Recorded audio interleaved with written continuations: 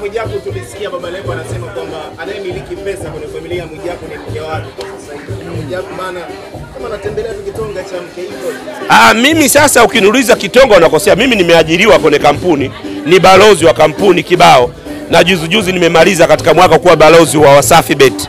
Eh, unajua hela nilolipwa eh, lakini mimi ni mwajiriwa pia wa Clouds Media Group.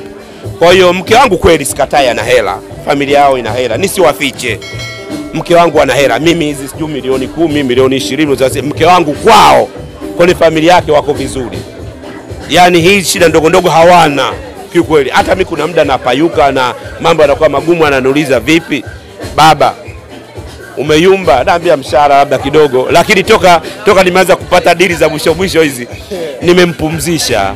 Mnyonge mnyongeni, hali yake mpeni. Nimempumzisha kwa kweli, kwa kweli nimempumzisha kwa sasa hivi eh, Kwa hiyo una, unaiweka rasmi kwamba tangu Diamond akupe dili sasa hivi umepunguza kupiga piga vizinga kwa mkeo. sema toka nimepata dili ya Wasafi Bet. Mbona una, unataka kuitenga kuitenga hii hii taasisi? Una nia gani na hii taasisi? Unataka isiende mjini? Ah, sema toka umepata dili la Wasafi Bet, usiitenge hii taasisi. Tunazungumzia mwenye taasisi pia. Hapana, mimi naizunguzia taasisi. Tunataka kuipushi taasisi mbele. Wewe unashindana na bosi wako, nafikiri tunataka tuipushi Wasafi Bet au tupushi kitu gani? Tupushi Wasafi Bet au tumsi- tumpushi mtu? Wasafi.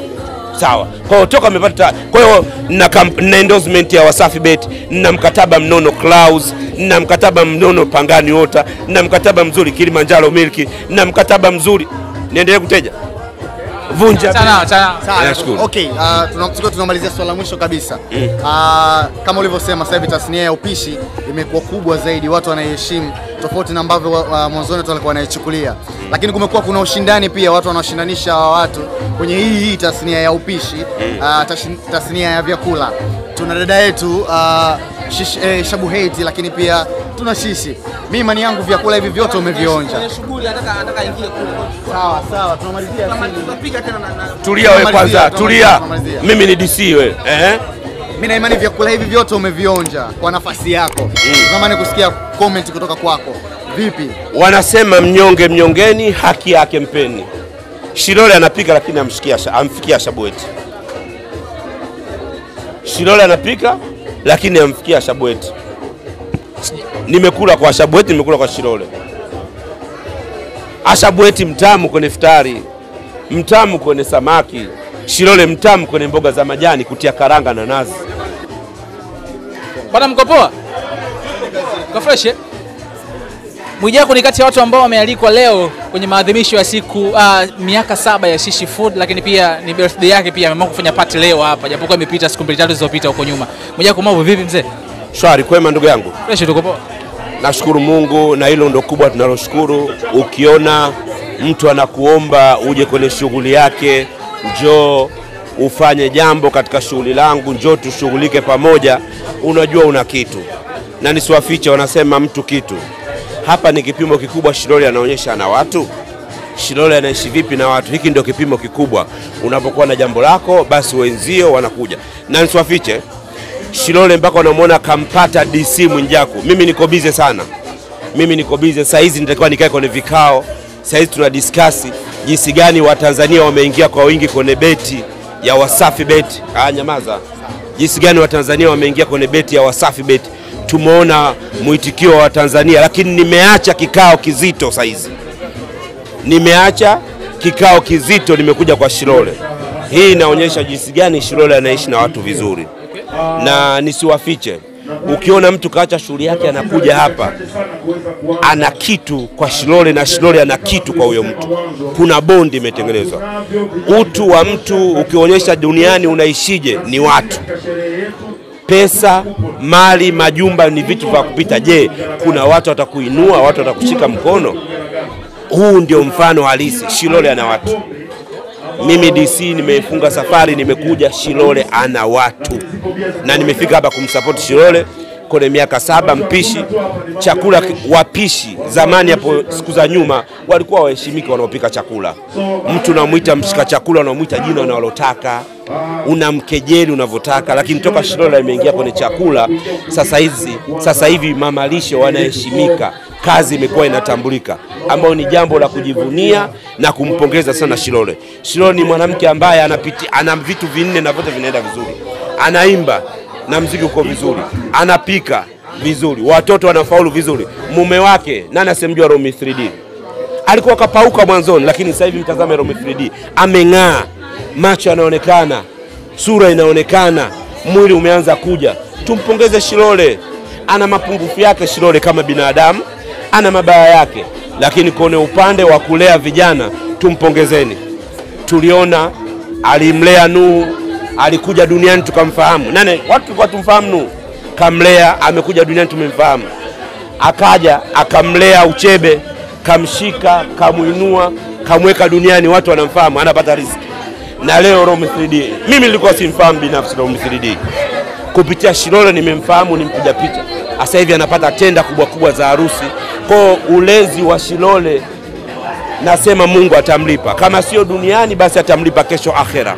Anajua kukaa na mtu, anajua kumfungulia dunia, anajua kumwonyesha wapi utapata riziki, wapi upate riziki. Ukiwa na akili ndogo, ukimpiga makofi atakuacha, lakini ukiwa mnyenyekevu kama Romy 3D anavumilia mengi ndiyo, lakini ameamua kumheshimu mkewe, ameamua kukaa na mkewe wamalize mwaka. Ni jambo la kumpongeza sana Shilole, tumpongeze sana Shilole, ndugu zangu waandishi mm. Sema Mchaga, hivi ushamwonaga Mwijaku akialikwa anakuja na mkewe kweli? Sijawahi kuona akialikwa akija Tuambie wewe, hauna kwani- kwani unamweka kwenye, kwenye, kwenye mabano sana mkewe? Jua, ngoja nikwambie, Unajua kitu kimoja watu hawajakielewa.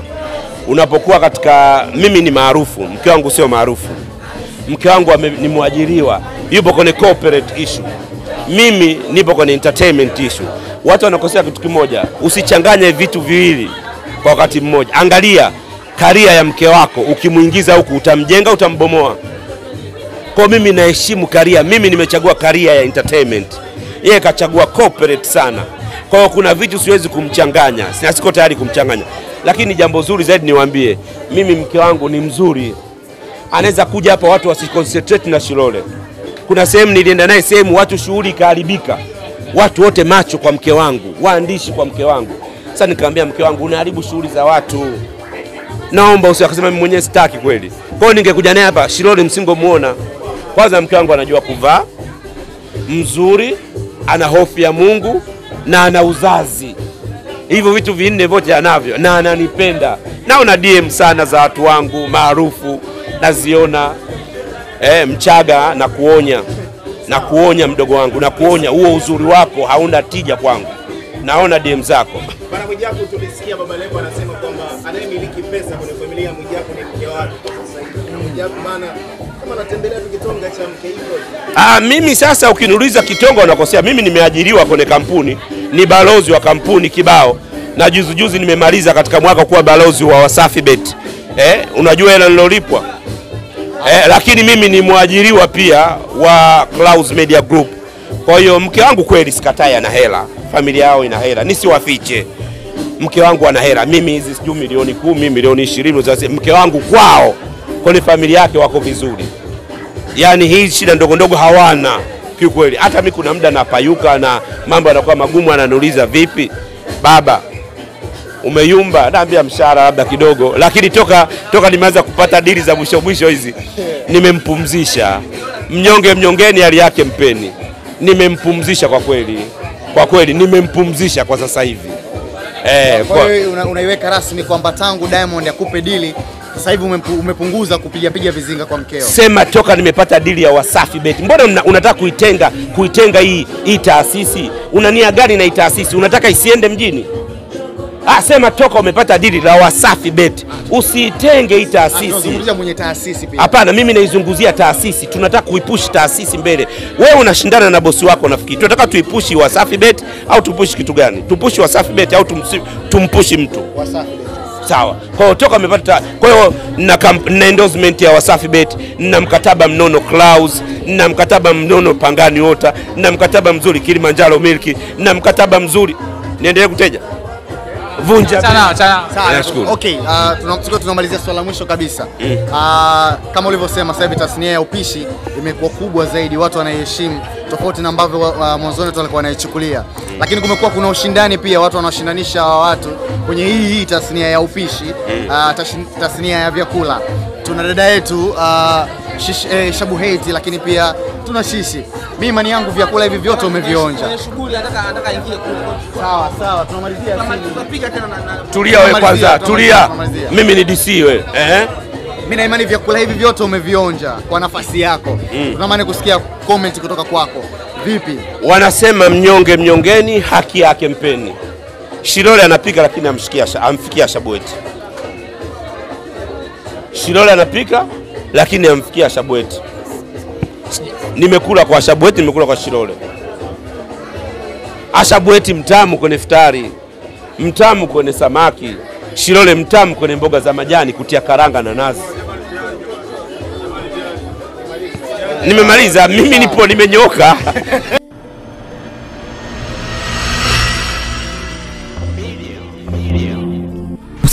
Usisahau kusubscribe, kulike na kucomment. HBTV.